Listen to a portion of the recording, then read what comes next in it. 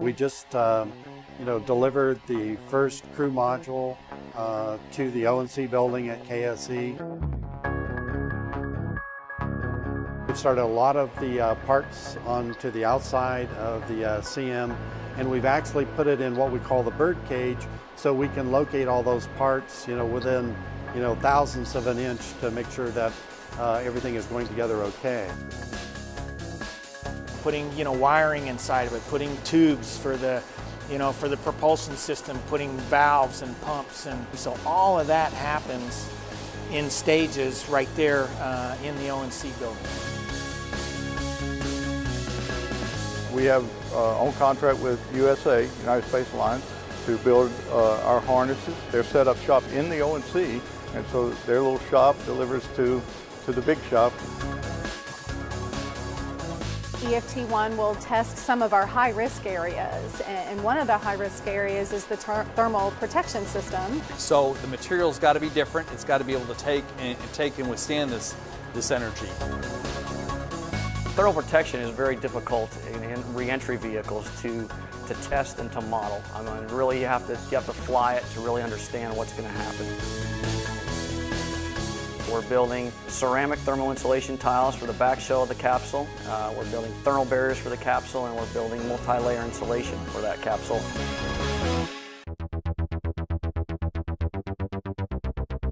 I'm the heat shield design lead.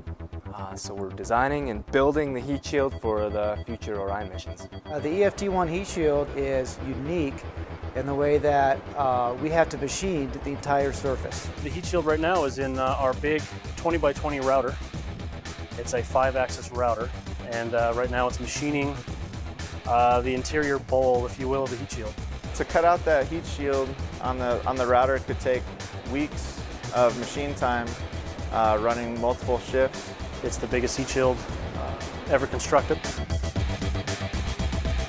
Uh, the other component is the heat shield skeleton, so that's the piece of the titanium substructure, the backbone that makes up the, the carrier structure itself. Another unique thing is all the hand drilling that we're doing. So it's not automated by a router in this case, and it all has to be, be hand, hand drilled by technicians on the inside. Yeah, all the pieces come pre-machined, and a lot of pilot holes in it. 200 plus titanium parts, all match drilled together. So we have a, a tool that puts all the pieces in the right spot and then we drill and high lock them all together. MCC is transforming from uh, supporting Space Shuttle and Space Station to a platform that will support Space Station and MPCV or Orion. In order to adapt for the future, we need to go to a more modern system.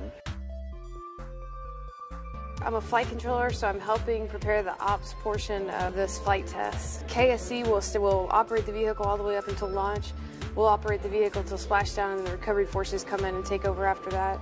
This is the test to prepare us uh, for EM1 and EM2 and the execution of those flights. Um, and those flights are what's going to get us back to lunar altitude or beyond.